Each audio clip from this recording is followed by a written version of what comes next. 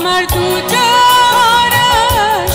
প্রায় সতেরো বছর পর আবারও মরণব্যাধি ক্যান্সার হানা দিয়েছে কিংবদন্তি কণ্ঠশিল্পী সাবিনা ইয়াসমিনের শরীরে। অবস্থার খানিক অবনতি হলে চলতি মাসের প্রথম সপ্তাহে সাবিনা ইয়াসমিনকে জরুরি ভিত্তিতে সিঙ্গাপুর নিয়ে যাওয়া হয়। ভর্তি করা হয় দেশটির জেনারেল হাসপাতালের ন্যাশনাল ক্যান্সার সেন্টারে।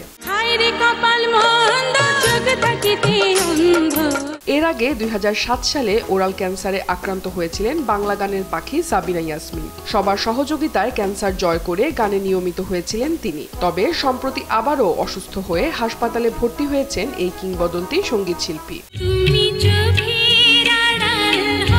তার পরিবারের সদস্যরা বলেছেন, গত বছরের শেষ দিকে কিছু জটিলতা তৈরি হয় সাবিনা ইয়াসমিনের শরীরে। এরপর নিশ্চিত হওয়া যায় শিল্পীর মুখগহ্বরে ফের ক্যান্সার বাসা বেঁধেছে।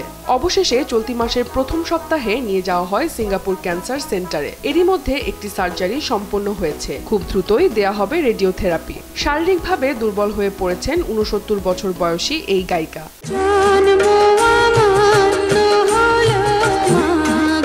পাঁচ দশকেরও বেশি সময় ধরে গানের ভুবনে বিচরণ করছেন সাবিনা ইয়াসমিন। বাংলাদেশের ইতিহাসে একমাত্র রুনা লায়লা ছাড়া তার সমকক্ষ হয়ে কেউ এত লম্বা সময় আধিপত্য ধরে রাখতে পেরেছেন তিনি সাবিনা ইয়াসমিন। মরমী শিল্পী আব্দুল আলিম থেকে শুরু করে একালের উঠতি গায়কদের সঙ্গেও তিনি একের পর এক গান গেয়েছেন। এমনকি উপমহাদেশের বরেণ্য সুরকার আর ডি বর্মনের সুরে গান গাওয়ার সুযোগ সহ বিখ্যাত দুই কণ্ঠশিল্পী কিশোর কুমার ও মান্নাদের সঙ্গেও গান গেয়েছেন তিনি।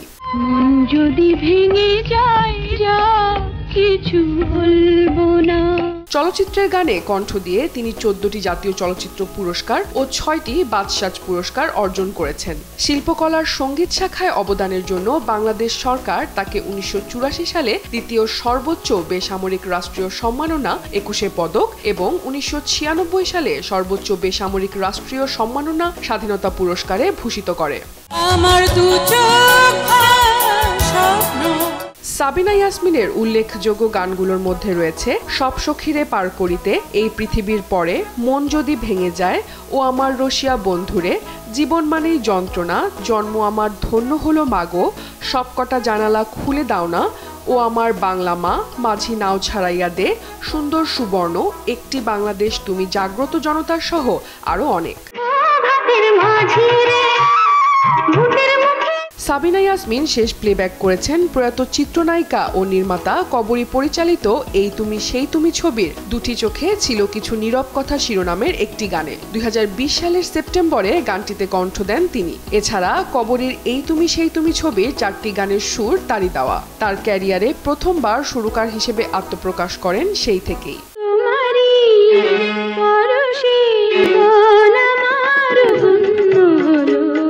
বিনোদন ডেস্ক দেশ টিভি।